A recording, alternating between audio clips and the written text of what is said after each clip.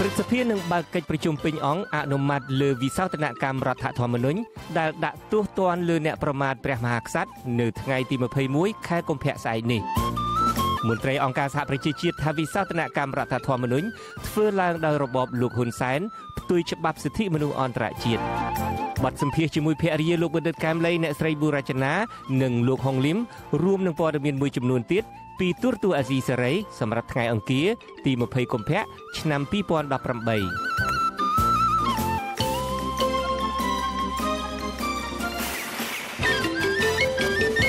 បាទផ្សាយផ្ទាល់ពីរដ្ឋធានី Washington ខ្ញុំបាទជួនច័ន្ទបុតស៊ូមជម្រាបសួរលោកអ្នកនាងកញ្ញាអ្នកស្ដាប់អ្នកតាមដានការផ្សាយរបស់យើងជាទីមេត្រីយើងខ្ញុំសូមស្វាគមន៍លោកអ្នកនាងកញ្ញា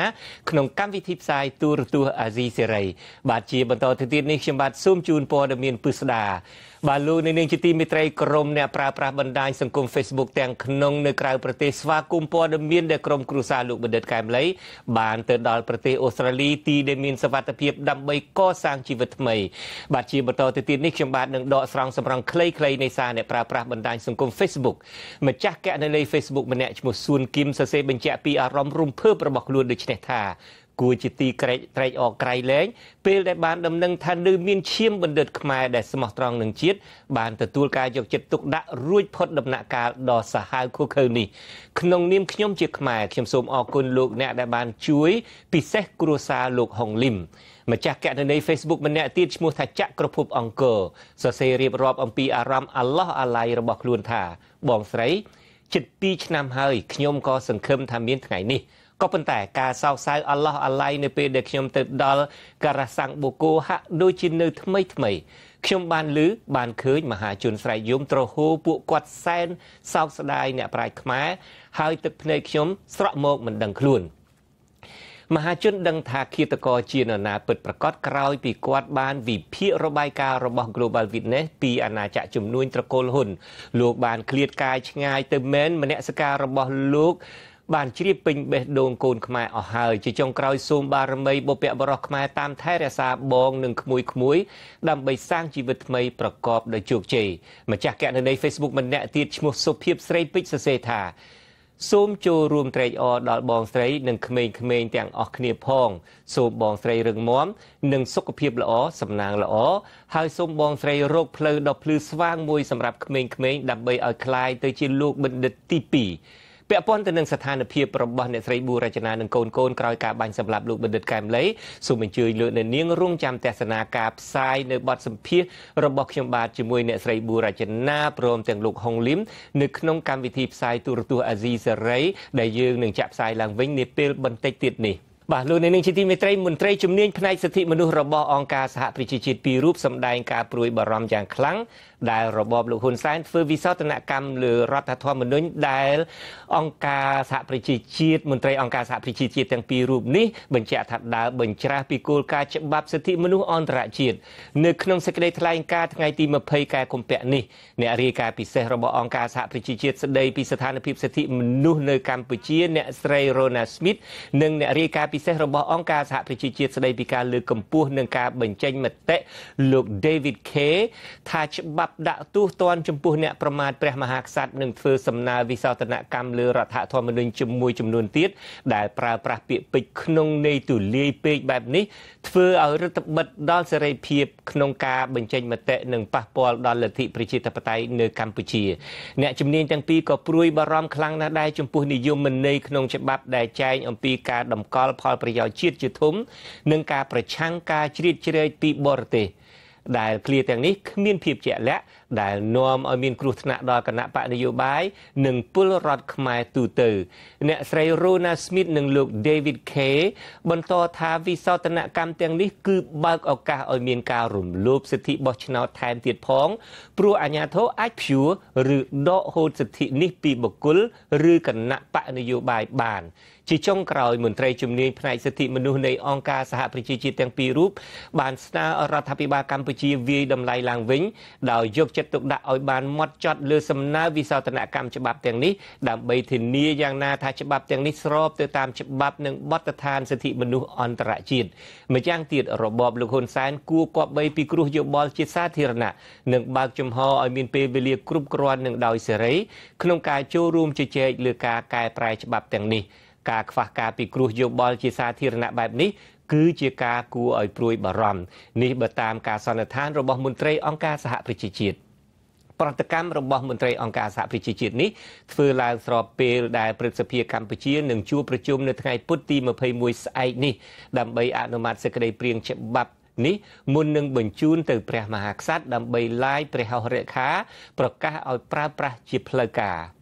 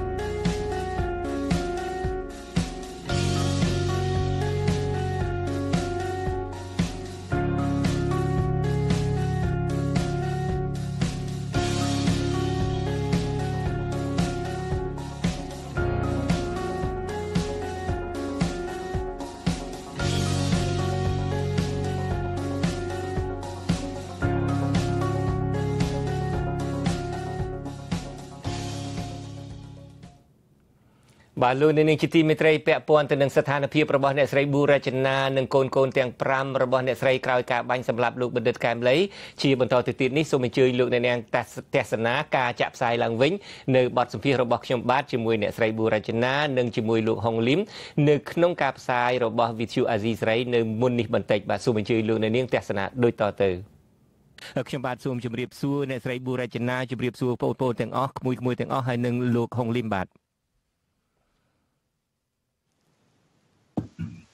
អឺបាទខ្ញុំខ្ញុំមិនបានឮសំឡេងសូមឮសំឡេងបន្តិចមកពីលោកបាទអរគ្នាចាជំរាបសួរបាទពីក្រុងម៉ែមួយទីអូស្ត្រាលីចានេះបាទខ្ញុំខ្ញុំរំភើបណាស់បាទខ្ញុំលឺហើយហើយឃើញកូនទាំងអស់ផង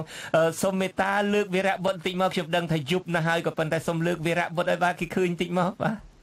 សូមទោសគេងបាត់នៅទៅ មែនណាវិញអូបាទសូមសូមលើកសូមលើកតិចមកសូមឲ្យគេឃើញទាំងអស់គ្នាផងមុននឹងផ្សាយអីឃើញទេបាទតាមពិតខ្ញុំមិនឃើញទេនៅក្នុងស៊ូឌីយោប៉ុន្តែសង្ឃឹមថាលោកទាំងអស់គ្នាបានឃើញអូបាទខ្ញុំបានឃើញទេលួចចោលកតុយភ្នែកថ្ងៃនេះខ្ញុំបានយក iPad ចូលមកក្នុងដែរក៏ប៉ុន្តែវារៀងយឺតបន្តិចមុននឹងបានឃើញបាទបាទ អឺដោយខ្ញុំបានជម្រាបចឹងទំនឹងអំពីការបានមកដល់ប្រទេសអូស្ត្រាលីនេះការពិតនឹងខ្ញុំក៏បានដឹងតាំងពីដំណើរដើមតងតាំងពីដំបូងមកក៏ប៉ុន្តែដើម្បីសវត្ថភាពដើម្បីធានាឲ្យបានថាកូនចៅទាំងអស់ហើយរួមទាំងអ្នកស្រីផងបានទៅដល់ទីតាំងត្រឹមត្រូវយើងក៏ផ្អឹបព័ត៌មាននឹងមករហូតទើបតែនឹងដាច់ចិត្តផ្សាយពីថ្ងៃច័ន្ទម្សិលមិញនេះការពិតនឹងយើងចង់ផ្សាយណាស់ដើម្បីឲ្យលោកអ្នកនាងបានដឹងភ្លាមពីព្រោះមនុស្សភាគច្រើនណាស់ដែលរងចាំការទៅដល់ខ្ញុំខ្លួនឯងផ្ទាល់នេះគឺដែលហេតុថាអ្នកផ្សាយព័ត៌មានតកតងទៅនឹងការសម្លាប់លោកបណ្ឌិតកែមលីការរត់ភៀសខ្លួនរបស់អ្នកស្រីប៊ូរចនាក៏ត្រូវមហាជននឹងដេញដោលសួរសម្បើមណាស់ខ្ញុំទ្រាំសឹងតែមិនបាននៅពេលដែលខ្ញុំបានដឹងដំណឹងល្អក៏ប៉ុន្តែដើម្បីដូចខ្ញុំបានជម្រាបដើម្បីធានាសវត្ថភាពថាឲ្យបានដល់ទិសដៅបានត្រឹមត្រូវយើងក៏ផ្សាយរៀងយឺតបន្តិចតាមពិតគឺទៅដល់តាំងពីថ្ងៃទី17គឺចំថ្ងៃសៅរ៍បាទហើយដូចខ្ញុំបានជម្រាបពីខាងដើមអ្នកដែលឈានមុខគេក្នុងការធ្វើឲ្យពុះពៀឲ្យសម្រេចការងារដែលបានទៅដល់ទឹកដីអូស្ត្រាលីនេះគឺលោកហុងលីមដែលខ្ញុំបាទនឹងសាកសួរនាពេលបន្តិចទៀតនេះក៏ប៉ុន្តែមុននឹង ជូនវេទិកានេះទៅលោកហុងលឹមខ្ញុំបាទសូមអញ្ជើញអ្នកស្រីប៊ូរចនាបន្តិចមកអ្នកស្រីប៊ូរចនាថាតើទឹកចិត្តពេលនេះបានទៅដល់ប្រទេសអូស្ត្រាលីនេះហើយមានមនុស្សស្វាគមន៍គ្រប់គ្រងយកចិត្តទុកដាក់បែបនេះតើអ្នកស្រីមានពីអីមានអារម្មណ៍បែបណាហើយជាពិសេសបើចង់អរគុណមុនគេក៏អរគុណចុះតើអរគុណពួកគាត់បែបណាដែរបាទសូមអញ្ជើញអ្នកស្រីប៊ូរចនាបាទចាជំរាបសួរអឺនាងខ្ញុំប៊ូរចនាចានាងខ្ញុំមានអារម្មណ៍ថា មានអារម្មណ៍សប្បាយរីករាយដែលបានមកដល់ប្រទេសអូស្ត្រាលីចាហើយទោះបីតែខ្លួនឯងហ្នឹងសឹងមិនមិនមិនចង់ជឿផងប៉ុន្តែអឺខ្ញុំសប្បាយចិត្តចាហើយខ្ញុំក៏អរគុណដល់បងប្អូនទាំងអស់ទាំងក្នុងនិងក្រៅប្រទេសដែលបានបារម្ភពីសុខភាពខ្ញុំតាំងពីមុនរហូតមកដល់ឥឡូវនេះចាឥឡូវនេះនេះខ្ញុំបានមកដល់ទឹកដីដែលមានសុខភាពហើយដែលអឺ រស់នៅចង់និយាយថាមកដល់ទឹកដីដែលដែលពោពេញទៅដោយអឺមានលទ្ធិជាធម្មតាអញ្ចឹងណាបងបាទ ខ្ញុំសប្បាយចិត្តចាបាទមិនដឹងថានិយាយថាម៉េចទៀតបាទខ្ញុំខ្ញុំយល់អត់ដីទេហើយលោកអ្នកនាងដែលចង់ចូលរួមដើម្បីសាកសួរសំណួរផ្ទាល់ទៅការខិតខំប្រឹងប្រែងរបស់លោកពូហុងលឹមទៅអ្នកស្រីប៊ូរចនាផ្ទាល់សូមអញ្ជើញផ្ដល់លេខទូរស័ព្ទនៅក្នុងខ្ទង់ comment នៅក្នុងការផ្សាយផ្ទាល់របស់យើងក្រុមការងាររបស់យើងនឹងហៅលោកអ្នកនាងដើម្បីឲ្យបានចូលរួមក្នុងការផ្សាយនេះហើយឥឡូវនេះខ្ញុំចង់ងាកទៅលោកពូហុងលឹមបន្តិចយើងដឹងហើយ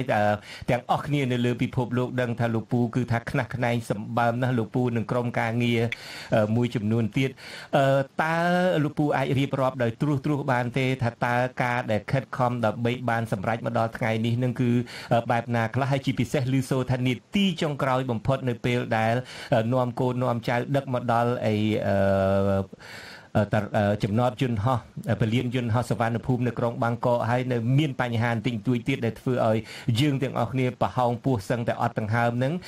សូមលោកពូរៀបរាប់ដោយត្រួសត្រាសបន្តិចបាទសូមអញ្ជើញអមបាទសូមអរគុណណាស់ដែលអញ្ញាកម្មបានរៀបប្រាប់បងប្អូនយើងពេញសកលលោកពីការដែលយើងបានខិតខំទាំងអស់គ្នាពេញមកពិភពលោកគឺមិនមែនជារឿងខ្ញុំម្នាក់ឯងទេគឺយើងមានគណៈកម្មការមួយសកម្មជនមួយក្រុមនឹងដែល ដែលខ្លាំងខ្លាណាស់ហើយដែលខ្ញុំធ្វើឲ្យខ្ញុំមានសមានចិត្តមានចិត្តដែលចង់គេថានៅពុះពេលតាមមានការដែលឃើញពីសន្ទុះនៃការដែលគ្រប់គ្រងរបស់បងប្អូនហ្នឹងមិនមែនតែក្នុងប្រទេសអ៊ីទាំងមូលពេញមកសកលលោកដែលខ្ញុំបានទៅថារដ្ឋកាលពីមួយថ្ងៃមុននេះបងប្អូនមកសាកសួរសុខទុក្ខមានអ្នកខ្លះក៏ផ្ញើជាទៅហុយស្ដាយមកជូនក្មួយហ្នឹងដែលយើងដាក់ចូលក្នុងក្នុងគណៈនៃនឹងធនាគារជូនគាត់បាទហើយដោយបងប្អូនជឿថាមិនដំបូងឡើងនេះគឺយើងខ្ញុំមានការបារម្ភរឿងថាឮថា អឺកាលហ្នឹងគឺក្មួយបូរចនាគាត់បានភៀសខ្លួនទៅក្រោយពីពេលចប់ពិធីបុណ្យហ្នឹងអឺធ្វើចប់ហ្នឹងអឺដោយសារឃើញសុខភាពមានគេមកគិតកំហែងយ៉ាងចឹងហ្នឹងដល់ផ្ទះហ្នឹងគាត់ក៏សម្រេចចិត្តទៅដល់ពេលហ្នឹងយើងយើងបារម្ភណាស់នឹងនេះសម្រាប់យើងយើងបានចែកគ្នាព្រោះលឺពាក្យសម្ដីមានបងប្អូនយើងនៅខាងសារ៉ាប់នេះគេកំពុងរៀបចំដំណើរថាមានធានាមានអីចឹងហើយគេថាគេអាចមានលទ្ធភាពធ្វើទៅបានឆាប់ចឹងយើងក៏មិនហ៊ានទៅមានការថាពាក់ ខ្ញុំនៅគេថាពីខ្វាយយើងចង់កាញ់គ្នាណាយើងធ្វើឲ្យមានការគោរពគ្នាខ្ញុំបានទូរស័ព្ទទៅសួរបងប្អូនអស់ហ្នឹងហើយតទីបំផុតគេសម្រាប់ថាសុំឲ្យពួកយើងខ្ញុំខាងនេះទទួលធ្វើទៅមកហើយចេះយើងក៏ចាប់ដើមមានសកម្មភាពទទួលទៅយើងចាប់ដើមដាក់ពាក្យធានានឹងពីខែវិច្ឆិកា2009 2016បាទហើយគេថាយើងដាក់ព្រៀងទៅខាងឋានទីគេក៏បានធ្វើសម្ភារអីយ៉ាងចឹងទៅប៉ុន្តែយើងចាំតាំងរហូតមកហើយ ខ្ញុំចង់និយាយឲ្យវិញឆ្ងាយយើងទន្ទឹងសម្រាប់ខ្ញុំរំថានៅយូរទៅវាអាចមានបញ្ហាហើយពិសេសបញ្ហាដែលកើតឡើងនៅថ្មីថ្មីយើងឃើញថាមានអញ្ញាធរហ៊ុនសែនមកចាប់ស្ត្រីនៅពីប្រទេសថៃបញ្ជូនទៅវិញយ៉ាងចឹងចាប់នៅប្រហោងមែនតើលោកពូណានៅពេលដែលមានគេមកចាប់បញ្ជូនអីឲ្យអាជ្ញាធរថៃទៅតើអារម្មណ៍លោកហុងលីមយ៉ាងម៉េចដែរពេលហ្នឹងយើងយើងភ័យបារម្ភណាស់ពីព្រោះពិសេសក្នុងពេលដែលគេចោទប្រកាន់ដែលគុណតិចបន្ទាអឺ បលេចឲ្យលោកបាងវន្ទៀងមួយហើយនឹងលោកមឿនដុល្លារមឿនដុល្លារពីបទថាក្បត់សេចក្តីពីបទថាក្បត់សេចក្តីទុកចិត្តគេហើយនឹងបាត់យកលុយអីណាគេក្នុងពិធីដែលធ្វើជាមនកិច្ចរបស់លោកកំលេងហ្នឹងពីព្រោះយើងយើងយើងយល់ថាគេអាចនឹងថាបន្ថែមជាក្តីថាឥឡូវនេះគេរកចាប់អ្នកទាំង3អ្នកទាំង3ទៅវិញត្រូវតែគេចាប់ដូច្នេះគេអាចនិយាយថាក្មួយបុរចាក៏មានករណីត្រូវតែមកឆ្លើយបញ្យល់ពី ពីពីពីទូនាទីរបស់ខ្លួននេះឥឡូវនៅបាត់ទៅណាដូច្នេះគេអាចបង្ខំឲ្យរដ្ឋាភិបាលថៃគឺហៅចាប់ចាប់យកបញ្ជូនទៅវិញព្រោះយើងកុំភ្លេចថាប្រទេសថៃនឹងអត់មានមិនមែនជាហត្ថលេខីនៃការធានារ៉ាប់រងជនពីខ្លួនទេដូច្នេះគេចាំបញ្ជូនណាទៅពេលណាឡើយគេថាអំពើចិត្តគេហើយបាទដូចឲ្យយើងបានឃើញតែគេចាប់យ៉ាងឆាវឆាវយ៉ាងព្រៃផ្សៃហ្នឹងយើងភ័យរន្ធត់រហូតហើយយើងភ័យណាស់បាទហើយ ដូច្នេះគឺនៅថ្មីថ្មីនេះគឺការភ័យនឹងឯងដែលធ្វើឲ្យលោកហុងលីមនិងក្រុមការងារសហការីរបស់លោកកាន់តែជំរុញរដ្ឋាភិបាលអូស្ត្រាលីបន្ថែមទៀតរហូតដល់បានសម្រេចពេលនេះបាទបាទយើងធ្វើមករហូតមកគឺថាសមាជិកសភាខ្លះសរសេរសម្បត្តិដល់13ដងទៅទាមទារឲ្យរដ្ឋមន្ត្រីក្រសួងការបរទេសឬក៏លោករដ្ឋមន្ត្រីក្រសួងអន្តរប្រវេសន៍ហ្នឹងឲ្យចាប់ចាប់ដើមធ្វើសកម្មភាពយ៉ាងឆាប់មកហើយទាំងហើយដល់ទីបំផុតប្រហែលជា2ឬ3ខែក្រោយនេះយើងបានទៅស្នើឲ្យសមាជិកសភាខាងគណៈបក របស់រដ្ឋាភិបាលពួកគោលទីយើងដឹងរដ្ឋាភិបាលហ្នឹងគេមានគោលបំណងពីរឿងធ្វើម៉េចយកជនភៀសខ្លួនទៅនៅស្រុកខ្មែរដូច្នេះគេនៅចង់ឆាក់ស្នំរដ្ឋាភិបាលហ៊ុនសែនហ្នឹងមិនចង់ឲ្យគេឃ្លៀសឃ្លាំងអីទេហើយដូច្នេះគេយើងយល់ថាគេប្រហែលមានចិត្តទាំងអ៊ីទាំងអមកចង់យកណាជនភៀសខ្លួនពីស្រុកខ្មែរមកយ៉ាងចឹងទេយើងភ័យបារម្ភខាងលឿនខាងណាស់បាទបណ្ដាលមានស្ថានភាពកាន់តែខ្លាំងឡើងខ្លាំងឡើងយ៉ាងទៅយើងចេះតែបារម្ភហើយដូច្នេះហើយខ្ញុំក៏ចេះតែមានអារម្មណ៍ថារដ្ឋ យើងយើងមកទៀមទារហូតយើងមានធ្វើញាត់ថាបងប្អូនមកយើងរាប់ពាន់អ្នកសញ្ញេអីយកបញ្ជូនទៅរដ្ឋាភិបាលនៅសហព័ន្ធយ៉ាងចឹងជាដើមគ្រប់បែបគ្រប់យ៉ាងអឺដូច្នេះហើយបានដល់ទីបំផុតទៅគឺថាចាប់តែយើងដឹងថាអឺពេលចុងក្រោយអស់នោះពេលគេថា UNHCR គឺថាអឺអឺអង្គការសហជីវជាតិអង្គការសហជីវជាតិខាងទទួលបន្ទុកខាងជំនាញខ្លួនហ្នឹងបាទគេសម្ភាសអឺគាត់ពីរដងមួយហើយហើយគេទៅសម្ភាសចុងក្រោយអស់នេះថ្ងៃអឺ ថ្ងៃថ្ងៃ5ខែកុម្ភៈដូច្នេះយើងដឹងថាយើងកំពុងប្រកាសដំណើរនោះប្រហែលជាមានអាចមានសង្ឃឹមច្រើនហើយបាទហើយដូច្នេះទៅដល់តែថ្ងៃ14នេះគឺថាគេចេញសំទោសថ្ងៃ14កុម្ភៈហ្នឹងគឺស្ថានទូតហ្នឹងចេញជាគេថាសិទ្ធិការជាវីសាឲ្យចូលមកហ្មងហើយពេលដែលតែយើងគេថាវាយើងភ័យគ្រប់គ្រងខ្លាំងពេកហ្នឹងគឺត្រង់ថាយើង យើងមានគណៈយើងមានតំណាងគេថាយើងទៅដល់ឡើងជិះកបោះភ្លាមក្នុងមួយថ្ងៃហ្នឹងទៅដល់ក្រុមអង្គកដើម្បីទៅជួបជាមួយក្មួយនឹងហើយចៅចៅទាំងអស់ហ្នឹងអត់ធ្វើយ៉ាងម៉េចឲ្យរៀបចំខ្លួនប្រមាប៉ុន្តែយើងគ្រូពួកគាត់ទៅដល់យុគថ្ងៃសប្តាហ៍បាទហើយខាង IOM នោះគឺថាអង្គការអន្តរជាតិខាងគេថាអន្តរប្រវេសន៍នោះគឺគេគេនឹងគេបានរៀបចំសម្រួលកិច្ចការជាមួយនឹងគឺថាឋានទូតរួចហើយប៉ុន្តែយើងនឹកថាប្រហែលយើងចាំពេញតាមថ្ងៃច័ន្ទដើម្បីទិញសម្បត្តិបាល់ហោះ សពតែស្ថានទូតគេថាមិនបានទេអ្នកឯងទៅតែចេញថ្ងៃនឹងបានថ្ងៃសប្តាហ៍បាទដល់គេនិយាយចឹងមកយើងភ័យទៅភ័យទៀតដល់គេតែគេមិនដឹងហើយគេមិនព្រមប្រាប់យើងបាទហើយយើងថាចំប្រហែលជាគេដឹងរឿងដែលយើងមិនដឹងធ្វើឲ្យយើងរត់ទៅភ័យហើយមកគេថាអ្នកឯងទៅចេញទៅថ្ងៃហ្នឹងបានពីថ្ងៃសុកកន្លងមកហ្នឹងបាទដូច្នេះបានហើយបានតែបខំទិញសម្បត្តិបើហោះនឹងថាយ៉ាងណាក៏ដោយដើម្បីឲ្យក្មួយមួយចាស់ចាំងបានចេញមកហើយគឺខាង IOM ហ្នឹងគេតាមជាប់រហូតហើយខាងស្ថានទូតនោះគឺក៏គេ monitor គេថាគេតាម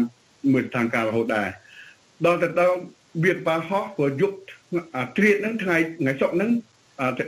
ថ្ងៃមក5នាទីផុតអាត្រៀតហ្នឹងត្រូវឡើងកប៉ាហោះស្រាប់តែយើងបានដំណឹងនៅនេះគឺយើងធាក់តាមប្រមកថាថៃអាញាធរថៃគេអត់ឲ្យចេញទេបាទហើយយើងថាអូគ្នាឬមួយអត់ឲ្យចេញតែកែមលីវីរៈបុតកូនចុងក្រោយបងហ្នឹងគឺយើងយើងដឹងថាដល់ហើយយើងដឹងថាហេតុអីបានគេមកចេញគេថាអាចៅទូយើងហ្នឹងគឺវីរៈបុតហ្នឹងគឺគាត់ អត់មានសម្បត្តិឆ្នាំព្រោះគាត់មកកាត់នៅស្រុកថៃខ្មែរមកកាត់នៅស្រុកថៃហើយដូច្នេះទៅអាញាធរថៃនេះឯងមិនអត់មានសម្បត្តិឆ្នាំនេះផងដូច្នេះយើងមិនអាចចេញបានទេតែដល់ចឹងយើងភ័យស្មមែនតើរហូតដល់យើងហ៊ានធ្វើការសម្រេចចិត្តនៅយុគនោះថាបើសិនជារំដោះតែក្មួយអឺបុរចនានិងកូនប្រុសធំធំទាំងទាំងទាំង4ហ្នឹងបងទាំង4ហ្នឹងមកមុនក៏យើងតែហ៊ានធ្វើដែរពីព្រោះចេះតែយើងគេធ្វើចិត្តគឺថា អឺអ្នកតំណាងរបស់យើងហ្នឹងគឺលោកភីហ្នឹងដែលគាត់ទៅគាត់ទៅផាជា10ដងហើយតែតាក់តងព្រោះយើងខ្ញុំនឹងតាមមើលដំណើរការទាំងអស់បើខ្លួនឈឺឬក៏មានអីព្រោះយើងបានតាក់តងរហូតហើយយូរយូរយើងទេលេហ្វូនថាក្នុង3 4អាទិត្យនេះទេហូតតែម្ដងដូច្នេះយើងតាក់ទងស្គាល់គ្នានឹងដឹងពីសុខទុក្ខដឹងពីកិច្ចត្រូវការរបស់ពួកយើងពេលណាពេលណាដែលធ្វើឈឺត្រូវការចូលពេទ្យយើងរៀបចំឲ្យយើងទាំងអស់ដូច្នេះទៅហើយប៉ុន្តែ មួយភានេះដែលគាត់ទៅជក់តាក់ទងជាមួយចៅចៅនោះទៅវាមានមានការចិត្តស្និទ្ធហើយអាកូនទូចហ្នឹង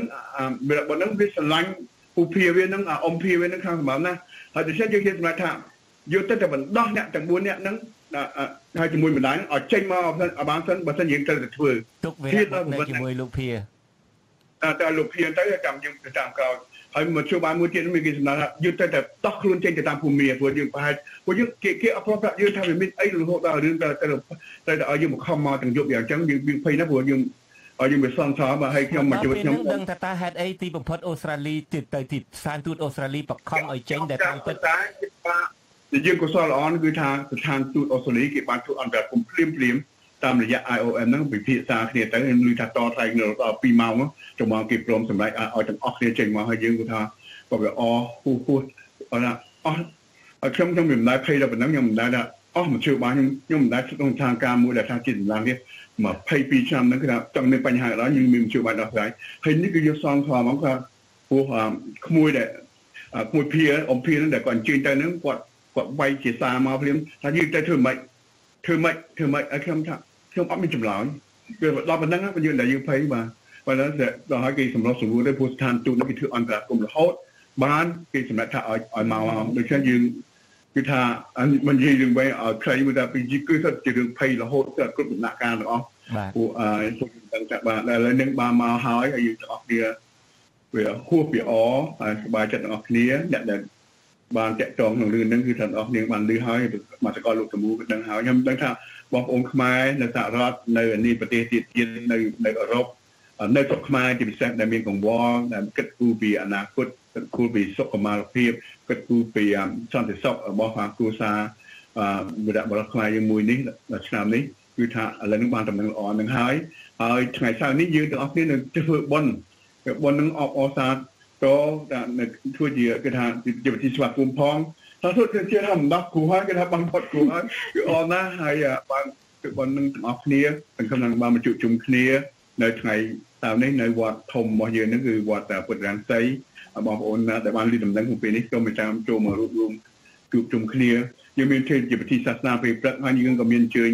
អឺអ្នកមុងអ្នកការចាត់ដែររហូតមេគីនឹងមានទុនទីតែខ្ញុំមិនបានជំរាបបងប្អូនគឺថាមានក្រុមមួយនេះគេហៅថាក្រុម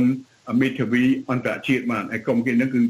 បានសរសេរនឹងគឺថារបៀបរបស់គេផ្សេងគឺខាងសម្រាប់តែយើងគ្មានលទ្ធភាពទេបានហើយពួកគេនឹងគេបានផ្ញើទៅស្ថានទូតផងគេបានផ្ញើទៅអង្គការអន្តរជាតិផ្សេងទៀតផងហើយគេបានផ្ញើទៅគ្រប់រដ្ឋមន្ត្រីឬក៏អ្នកមុនអ្នកកាលណាដែលយល់ថាត្រូវតែផ្ញើឲ្យសម្បត្តិហ្នឹងយើងឃើញមានប្រសិទ្ធភាពខាងណាពីព្រោះគេសរសេរហ្នឹងគឺខ្លាំងខ្លាំងមែនតើហើយបាទ បាទអរគុណលោកហុងលឹមការពិតដូចលោកបានជ្រាបហើយគឺថាអ្នកណាក៏ដោយសឹងតែខ្មែរនៅក្រៅមេឃនឹងគឺចាប់អារម្មណ៍ទាំងអស់នេះគឺជាលើកទី1ដែលហើយដែលនៅក្នុងការផ្សាយបង្ហោះព័ត៌មានអំពីការអញ្ជើញទៅដល់របស់អ្នកស្រីប៊ូរចនានិងកូនកូនទៅដល់ប្រទេសអូស្ត្រាលីនេះនៅពេលដែលយើង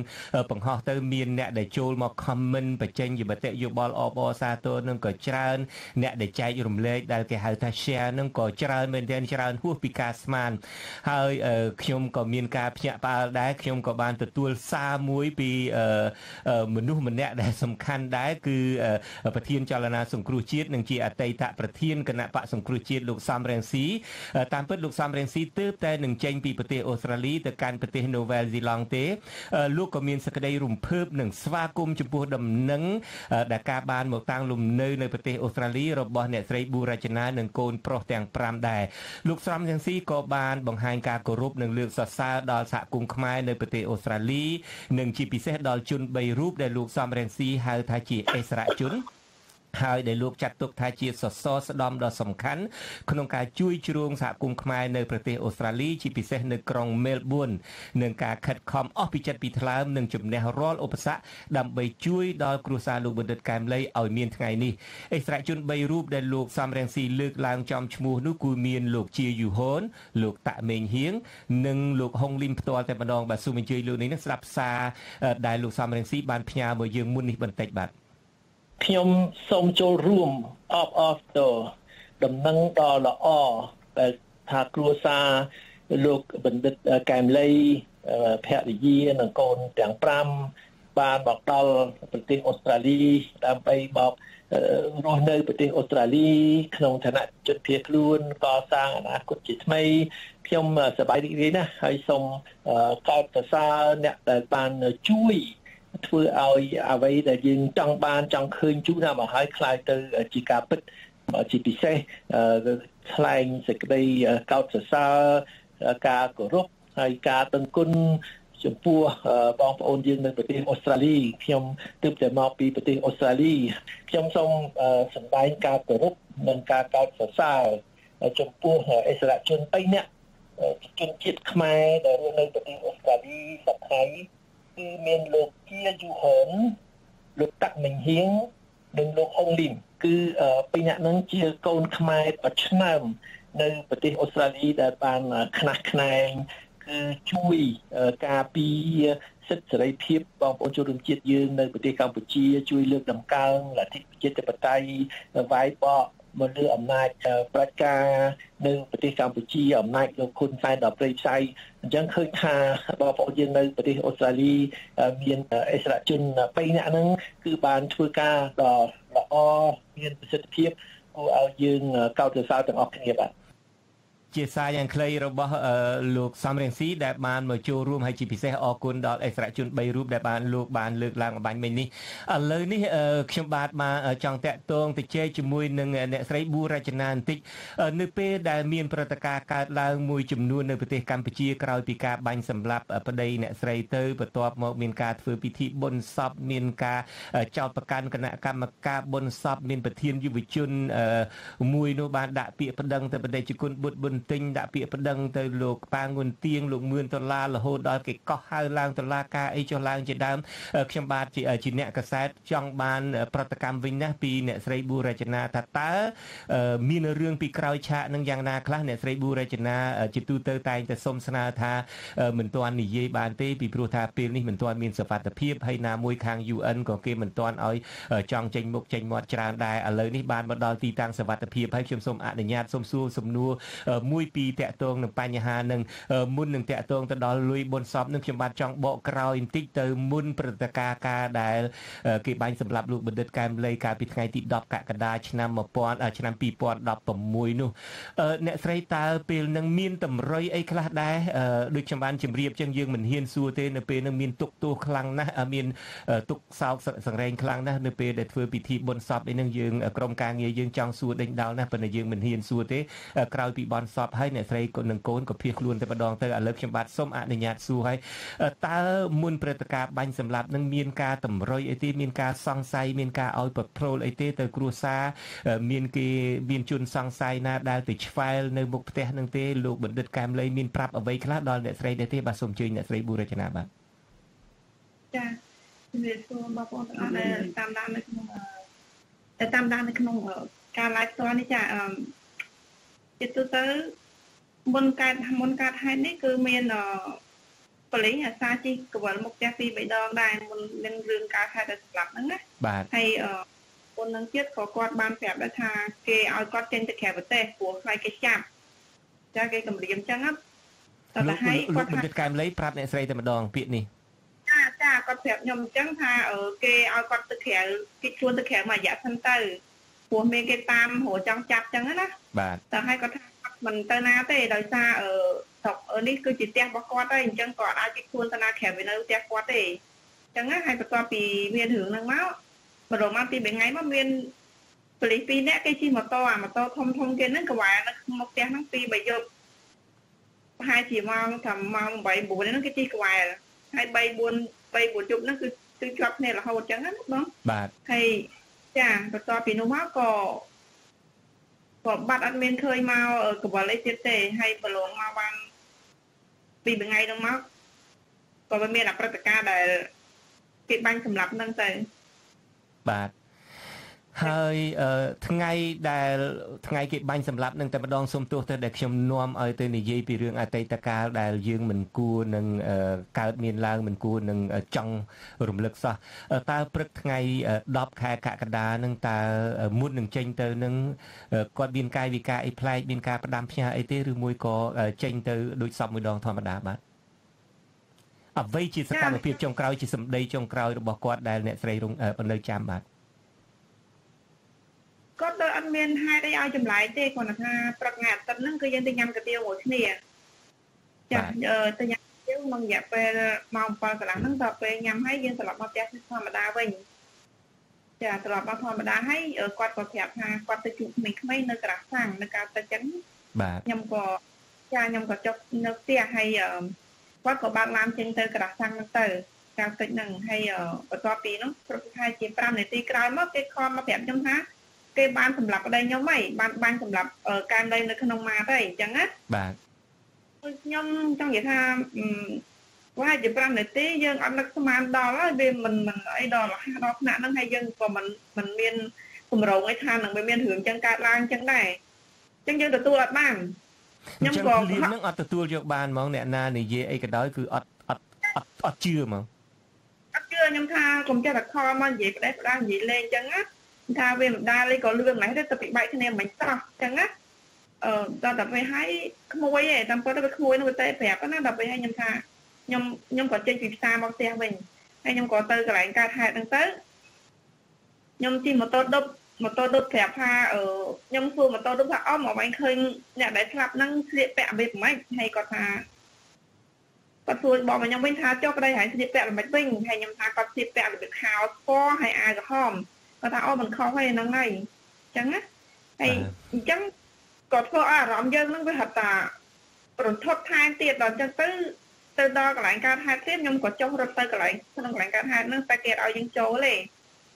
ចាគេឲ្យចូលគេយើងរុញទ្វារចូលទៅគេរុញយើងចេញមកវិញគេឲ្យយើងចូលមក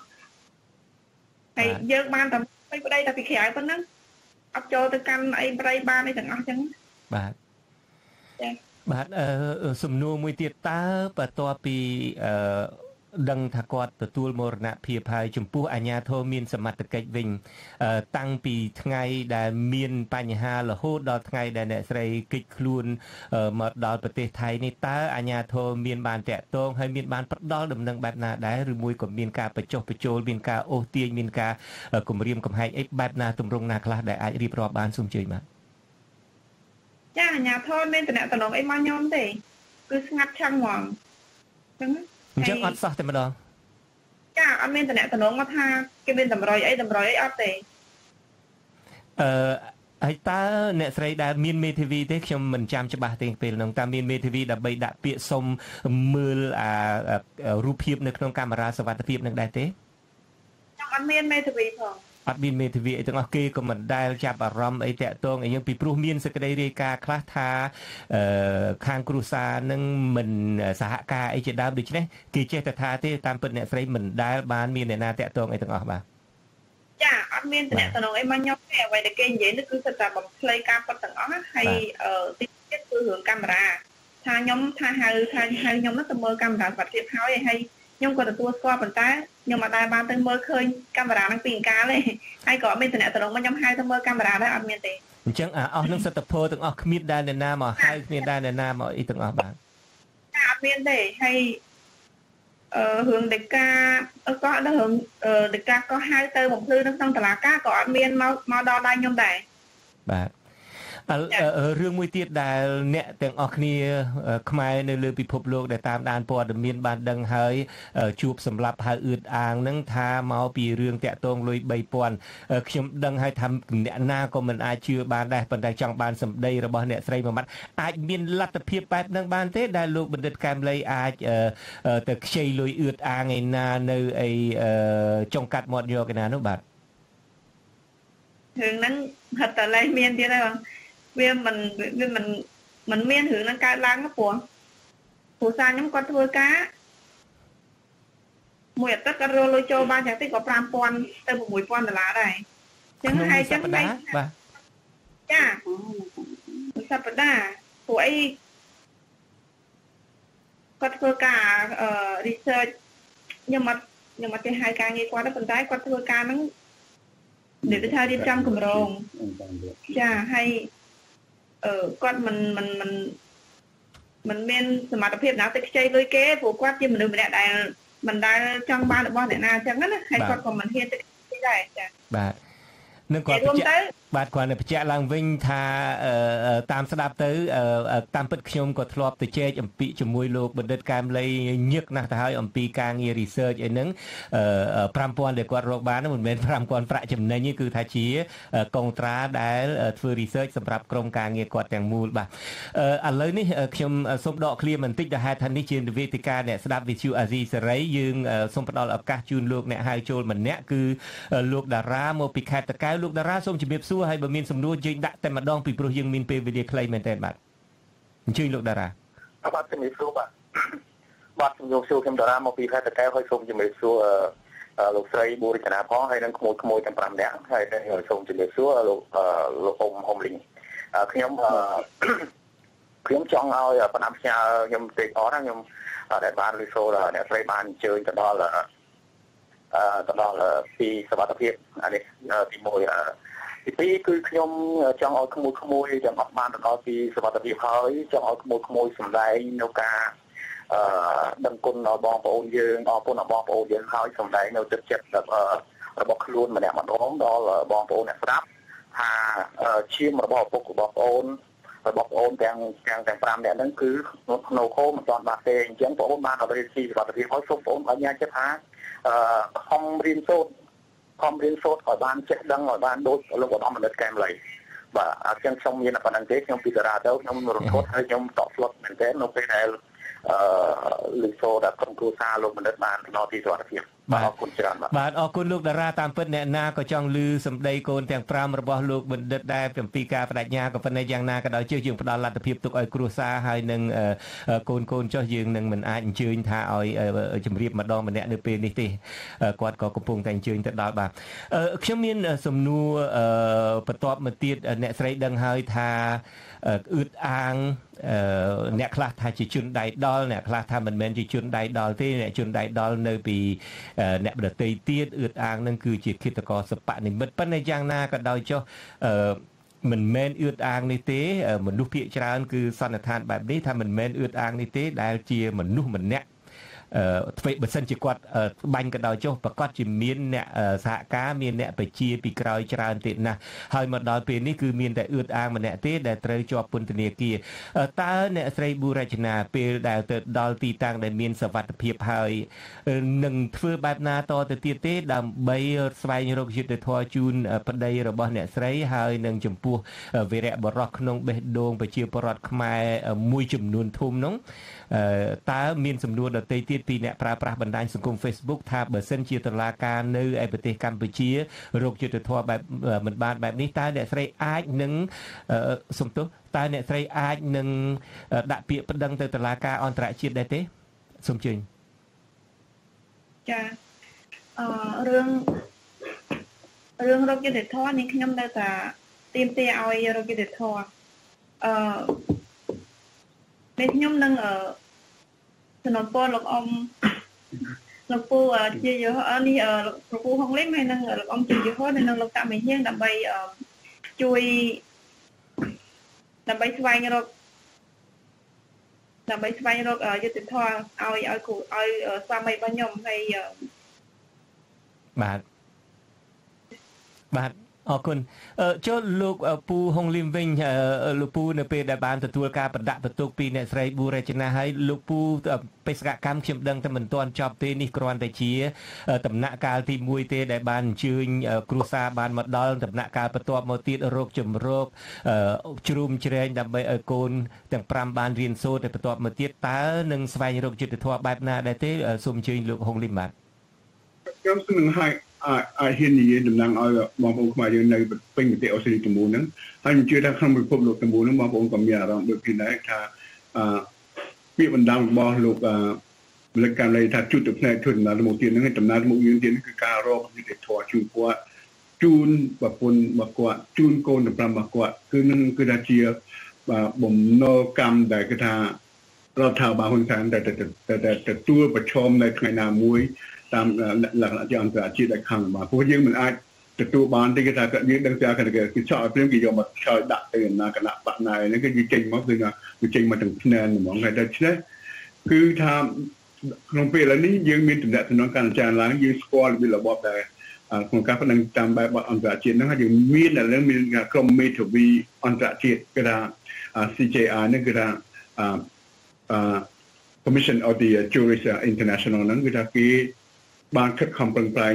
ដល់គឺជាចំណែកមួយធំណាស់ដែលថាមួយបានមកដោយសារគឺការដែលគេធ្វើរៀបចំសំណុំរឿងនឹងបានល្អក្នុងការទៀមទាបានមកហ្នឹងបាទហើយខ្ញុំយល់ថានេះគឺជាជំហានបន្តទៀតដែលយើងខ្ញុំត្រូវតែធ្វើដោយខំមិនបានព្រោះយើងមិនអាចទទួលយកបាននៅការប្រឡែងប្រឡំដែលមិនហ៊ានបង្ហាញរូប ឲ្យបានសមរម្យហើយធ្វើចិត្តឥឡូវមកចូលចេញចូលទៅបត់ទៅមកចំណាអីដល់រឿងលុយលុយបត់ធ្វើគេធ្វើបំបែកតានយើងទាំងអស់ដើម្បីឲ្យយើងអត់យកចិត្តទុកដាក់ពីការបាត់បង់ជីវិតរបស់អវិរៈរបស់ខ្មែរយើងមួយនេះយើងប៉ុន្តែយើងមិនអាចទទួលបានទេព្រោះវានឹងងុំក្នុងចិត្តយើងយើងបានសន្យាជាមួយគាត់ណាតាំងពីថ្ងៃ7ถึง7ថ្ងៃតាំងពីបន្ទិការអធិបុណ្យខួបឆ្នាំទី1ថាយើងនឹងសងសឹកវិញ្ញាណខណ្ឌរបស់គាត់ព្រោះយើង គឺថាយើងមិនអាចទទួលយកបាននៃការដែលគេប្រព្រឹត្តមកទាំងគេថាអសិលធម៌ទាំងពីទាំងយុទ្ធព្រៃផ្សាយតាមដេឆានទេបាទហើយយើងអស់គ្នានឹងយើងបានគ្រប់គ្នាជាទូទៅហើយយើងថាក៏តែយើងរៀបចំធ្វើឲ្យមានស្ថានភាពនៃការរស់នៅខាងសុខុមាលភាពរបស់គ្រួសារគាត់ហ្នឹងគឺគឺទាំងក្មួយហ្នឹងទាំងចៅអស់ហ្នឹងឲ្យបានស្រួលបួសហើយបានចូលរៀននៅស្រួលបួសទៅមានទីស្នាក់នៅស្រួលបួសទៅហើយមានទម្លាប់ក្នុងការរស់នៅទៅយើងនឹងទៅទៅរមជ្ឈបាយថាធ្វើយ៉ាងម៉េចយើងពិគ្រោះរបស់ជាមួយនឹងអ្នកដែលគេមាន អឺការពិសោធន៍ក្នុងការយករឿងទាំងអស់ហ្នឹងបាទព្រោះមានអ្នកមេធាវីមានក្រុមចៅក្រមមានអីដែលគេមានយោបល់ច្រើនល្អណាស់បាទហើយដូច្នេះគឺថាពាក្យអង់គ្លេសថា you not going to get away with it និយាយថាអ្នកឯងមិនអាចគេចចេញបានអំពីគឺថាថ្ងៃដល់ថ្ងៃទៅប្រជុំមុខនៅ ពណ៌នេះបាទខ្ញុំបាទក៏មានការរីករាយដែរចំពោះការបដិញ្ញាចិត្តរបស់លោកហុងលឹមហើយដើម្បីរកយុត្តិធម៌ជូនលោកបណ្ឌិតកែមលីដែលយើងគោរពស្រឡាញ់ទាំងអស់គ្នានេះតកតងលោកលោកពូហុងលឹមបានលើកឡើងច្រើនណាស់អំពីរឿងការដែលតុលាការបានចេញដីកា តាមពិតនឹងរហូតដល់ឃុំខ្លួនផងបើសិនជាខ្ញុំមិនច្រឡំទេឃុំខ្លួនជនទាំង3នាក់ដែលគេចោទថាបានកេងបន្លំលុយកាក់ពីពិធីបុណ្យសពលោកបណ្ឌិតកែមលីនឹងគឺមានបដិជគុណបុត្របន្ទិញមានលោកប៉ាងួនទៀងមានលោកមឿនដុល្លារអីជាដើមហើយដូចខ្ញុំបានជម្រាបពីខាងដើមនៅពេលដែលមានរឿងនឹងកើតឡើងខ្ញុំតាក់ទងទៅរចនានៅឯបាងកកភ្លាមបំពេចប៉ុន្តែរចនាថាមិនទាន់ឆ្លើយបានទេ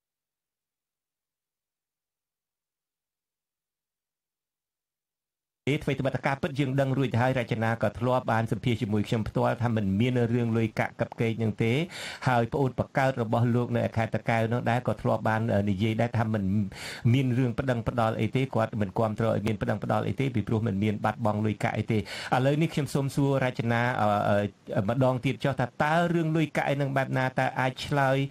បែបណាដែរទេចំពោះការចោទប្រកាន់អ្នកទាំង3អ្នកនឹងហើយតើពាក្យបណ្ដឹងនេះបើសិនជាដូចរចនាធ្លាប់និយាយមកថាពួកគាត់មិនតាក់ទងក្នុងរឿងលុយកាក់នឹងទេតើពាក្យបណ្ដឹងនឹងហេតុអីបានជាមានពាក្យបណ្ដឹងនឹងឡើងបើតាមការទស្សនៈរបស់រចនាបាទសូមជើញបាទចារឿងពាក្យបណ្ដឹងនេះរឿងគណៈកម្មការបីអ្នកដែលមានពាក់ព័ន្ធជាមួយលុយកាក់ហ្នឹងគឺអត់អត់មានរឿងនឹងកើតឡើងទេហើយពាក្យបណ្ដឹងនេះគឺធ្វើដល់ធ្វើឡើងដល់អយុត្តិធម៌ពេកហើយខ្ញុំខ្ញុំមិននឹកស្មានថាតឡាការនៅស្រុកខ្មែរគាត់ ចេញច្បាប់មកឲ្យចាប់ម្នាក់ដែលមិនមិនមិនមានទោសណាខ្ញុំខ្ញុំមិនយល់ហើយខ្ញុំបដិសេធទេធ្វើមិនមិនមិនបានទេមិនល្អទេធ្វើអញ្ចឹងសូមមកតឡាការអឺធ្វើឲ្យអឺថារោគយុទ្ធអឺបំបត្តិរឿងក្តីដែលដែលវាខុសនឹងការពិតនឹងចោលទៅចា រឿងនឹងវាយ៉ាងម៉េចដែរដែលគេនៅតែចោតបាននឹងអ្នកស្រីអាចបកស្រាយបានទេរឿងលុយនឹងយ៉ាងម៉េចដែលនៅតែគេចោតនឹងហើយដែលអ្នកស្រីការពារគាត់ទាំង3នឹងតើតាហេតុអីបានអ្នកទាំង3នឹងអាចឲ្យគេយល់បានថាគាត់មិនមានកំហុសមិនមានពាក់ព័ន្ធរឿងលុយកាក់នឹងតើរបៀបរៀបចំយ៉ាងណាគាត់អ្នកទាំង3នឹងពាក់ព័ន្ធយ៉ាងណាយ៉ាងណាសូមជឿបាទចាព្រោះរឿងបញ្ហាលុយហ្នឹងគាត់ទាំង3ហ្នឹងមិនមិនបានកាន់លុយហ្នឹងទេ ព្រោះគាត់គឺជាគណៈកម្មការចាត់ចែងហើយលុយហ្នឹងគឺខាងក្រុមគ្រួសារអ្នកកាន់ផ្ទាល់ទេអញ្ចឹងខ្ញុំធានាថាពួកគាត់មិនមានបញ្ហាទៅលុយកាក់ហ្នឹងទេខ្ញុំខ្ញុំធានាពួកគាត់ជាមនុស្សល្អទាំងអស់គ្នាបាទចាចុះលុយនឹងអ្នកណាអ្នកកាន់លុយហ្នឹងគ្រួសារទាំងពីរហ្នឹងខាងខ្ញុំខាងប្តីខ្ញុំអ្នកកាន់បាទហើយអញ្ចឹងអ្នកស្រី ត្រួតពិនិត្យអីមើលទាំងអស់អ្នកស្រីកាន់ហើយគ្រួសារកាន់នឹងត្រួតពិនិត្យទាំងអស់អត់មានបាត់បង់អីទេចាចាអត់មានបញ្ហារឿងបញ្ហាលុយហ្នឹងទេអត់មានទេបាទ សំណួរមួយទៀតតើអ្នកស្រីមានអារម្មណ៍បែបណាដែរនៅពេលដែលការពិតនឹងអ្នកស្រីក៏ហាក់ដូចជាប្រឡយដែរថាមាន ខាងអាជ្ញាធរមានឃើញនគរបាលអីដែលពីខាងរដ្ឋាភិបាលរបស់លោកហ៊ុនសែនរបបលោកហ៊ុនសែននឹងបានទៅឆ្វែលនៅផ្ទះអ្នកស្រីមុននឹងមានព្រឹត្តិការណ៍បាញ់សម្លាប់អីហ្នឹងហើយទីបំផុតគឺលោកហ៊ុនសែនខ្លួនឯងនឹងឯងចេញលុយថ្លៃបបរនៅពេលដែលលឺឆ្លើយថាខ្វះលុយបបរពេលធ្វើបុណ្យខួបហើយបន្ទាប់មកទៀតនឹងឮសូរថាខ្វះ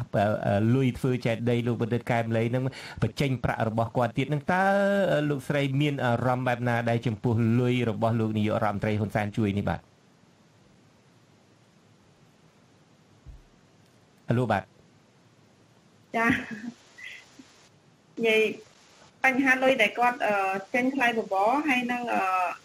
ចេញជួយជារឿងចែកដីនេះអឺ ខ្ញុំមិនដឹងពីគោលបំណងរបស់គាត់ដែរ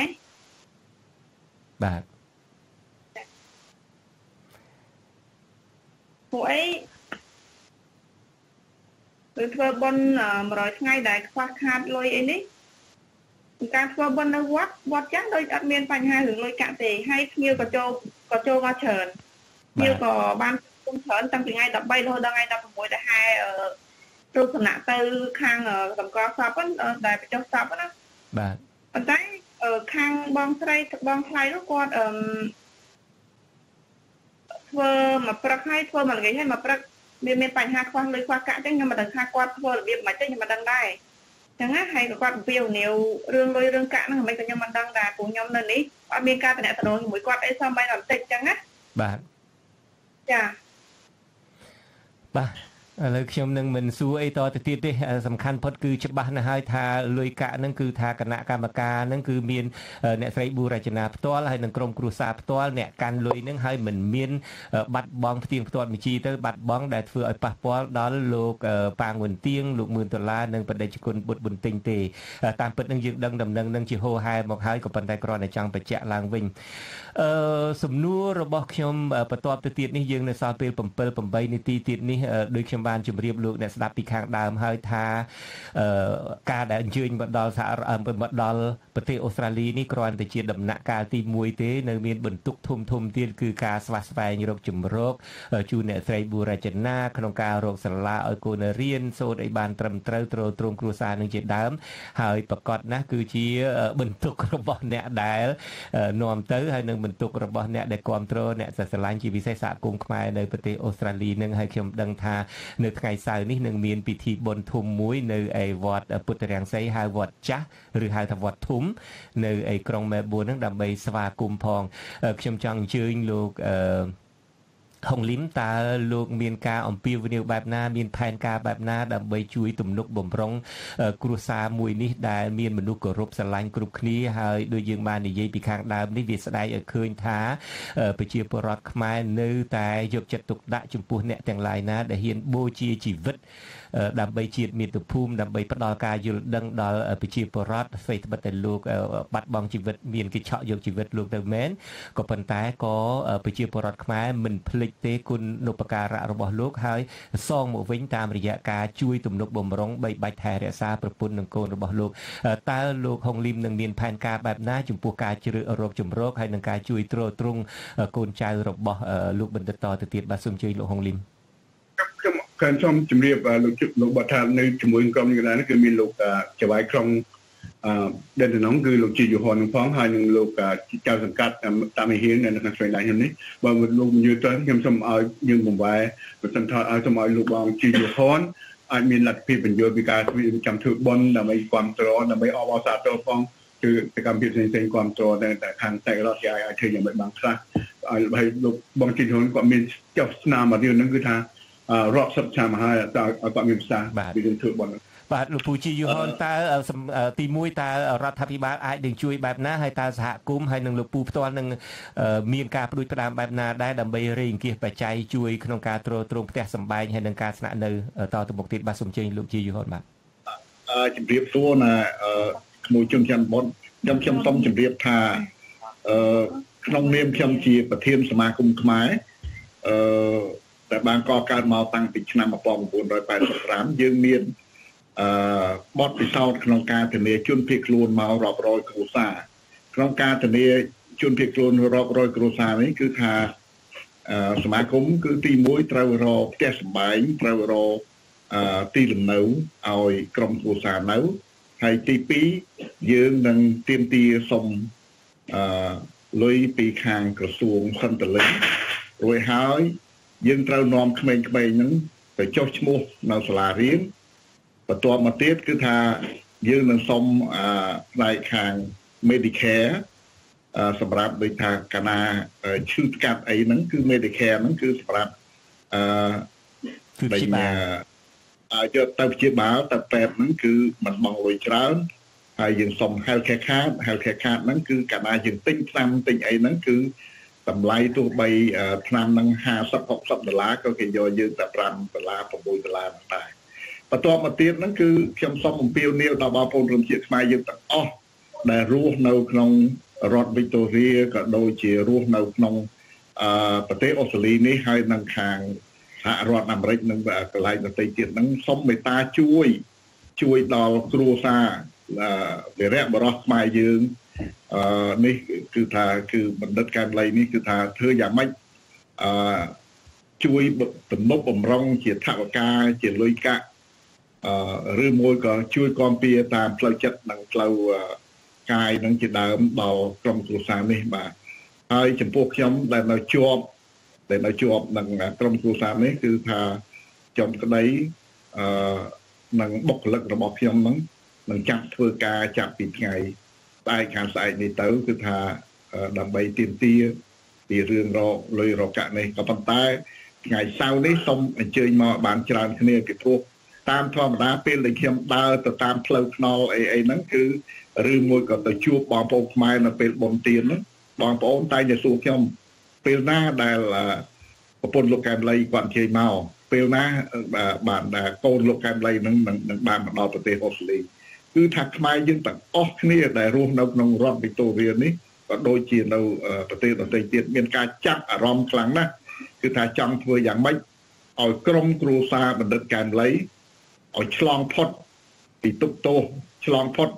ពីកន្លែងដែលនរកអវិជ្ជាហ្នឹងគឺឲ្យចូលមកដល់កន្លែងដែលមានសុខសន្តិភាពរស់នៅឲ្យបានស្រួលដូច្នេះអាហ្នឹងគឺជាភារកិច្ចរបស់សមាគមខ្មែរ ជាអ្នកទទួលខុសត្រូវហើយនឹងជាអ្នកធ្វើហើយខ្ញុំជឿជាក់ថាមិនមែនតែសមាគមខ្មែរទេ គឺមានមួយលោកតាក់មិញហៀងផងដែរតែខាងផ្នែកខាងមេធាវីផ្នែកខាងអីហ្នឹងគឺក៏នឹងចាំជួយតាមផ្លូវច្បាប់ផ្លូវទម្លាប់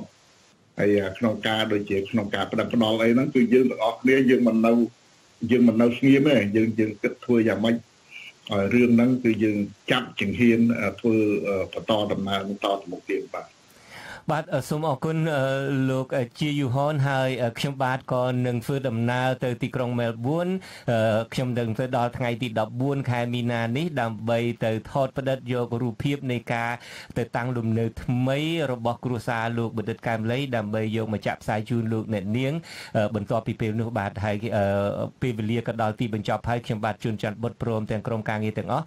សូមអរគុណលោកពូហុងលឹមលោកជាយូហនលោកតាមេងហៀងដល់អ្នកស្រីប៊ូរចនាហើយនិងក្មួយក្មួយទាំង5នាក់ដែលនៅដល់ពាក់ជាងពាក់កដាលអត្រៀតហើយចូលរួមការផ្សាយរបស់យើងនៅពេលនេះសូមឲ្យអ្នកទាំងអស់គ្នា បានទទួលសុបិនល្អនៅលើទឹកដីដែលមានសវត្ថភាពនេះហើយយើងនឹងជួបគ្នានៅប្រមាណជាជាង2សប្តាហ៍ខាងមុខនេះទៀតបាទខ្ញុំសូមអរគុណនិងសូមជម្រាបលាតែត្រឹមនេះបាទ បាទលោកនាងកញ្ញាទើបតែបានទស្សនាទូរទស្សន៍អាស៊ីសេរីផ្សាយចេញពីរដ្ឋធានី Washington នៃសហរដ្ឋអាមេរិកខ្ញុំបាទជួនច័ន្ទបុតព្រមទាំងក្រុមការងារទាំងអស់នៃទូរទស្សន៍និងវិទ្យុអាស៊ីសេរីសូមជូនពរលោកនាងកញ្ញានិងក្រុមគ្រួសារឲ្យជួបប្រកបតែនឹងសេចក្តីសុខគ្រប់ប្រការខ្ញុំបាទសូមអរគុណនិងសូមជម្រាបលារីត្រីសុស្ដី